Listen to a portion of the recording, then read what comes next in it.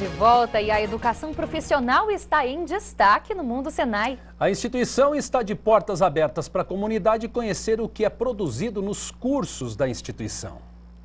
Um pebolim humano. Pebolim é aquele joguinho que rola numa mesa, sabe? Bom, aqui ele é desse tamanho e com jogadores reais, humanos. Só que o pessoal não está querendo mostrar o jogo, e sim a estrutura física.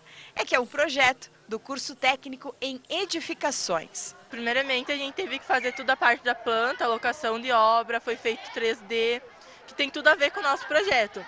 Que a gente faz edificações, então a gente tem que projetar. E daí foi feito também os acabamentos, a mão, que era pintura. Nós tivemos que projetar primeiramente, né? E depois a gente mesmo construiu. Mecatrônica, inovações nas máquinas para serem usadas pela indústria, a geração de energia.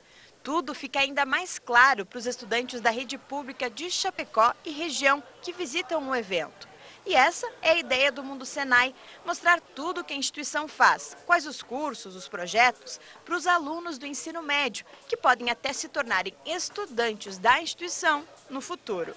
Sim, eu já me interessei por o curso de mecânica, daí eu tô, né, pensando né, em qual que eu vou fazer, porque tem bastante coisa aqui. Coisa que a gente não conhecia, como eu entrei aqui, tem. É tipo um robozinho que pra tu pegar as coisas. E é, ele é feito com árvore, daí não tem perigo de vazar essas coisas. Eles têm uma variedade de cursos assim, que você não imaginava que existia.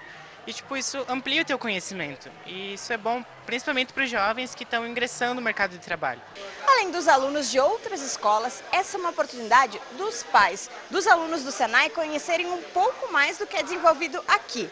O evento também recebe muitos empresários, já que a instituição está formando os futuros profissionais que vão entrar no mercado de trabalho. Oito em cada dez técnicos formados pelo Senai conseguem emprego em até um ano depois da conclusão do curso, segundo a instituição.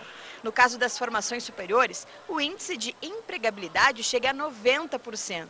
É por isso que as portas estão abertas. Todo mundo que quiser pode vir participar do Mundo Senai, com um mundo de oportunidades. O Senai, enquanto instituição de educação e tecnologia, ele está sempre aberto né, para a comunidade. Mas nesse período que a gente chama de Mundo Senai, a gente prepara os projetos. Quer dizer, são os trabalhos dos alunos e dos professores para mostrar para a comunidade, mostrar como é o mundo do trabalho e como que a sociedade pode melhorar com tudo isso. Mas no fundo, no fundo, o que a gente quer é inspirar. Se alguém vem e vê um projeto com tecnologia, com trabalho desenvolvido e pode ver que pode fazer também, e vai melhorar a sua vida, vai melhorar a sua vida da sua família, vai procurar uma melhoria no seu desempenho profissional, na sua carreira profissional, e com isso vai melhorar a sua comunidade, a sua cidade e no final o país todo para todos nós. Né? E hoje o Senai de Chapecó, que fica bem próximo do Complexo Esportivo do Verdão, vai receber os visitantes da uma e meia da tarde até as 5 horas.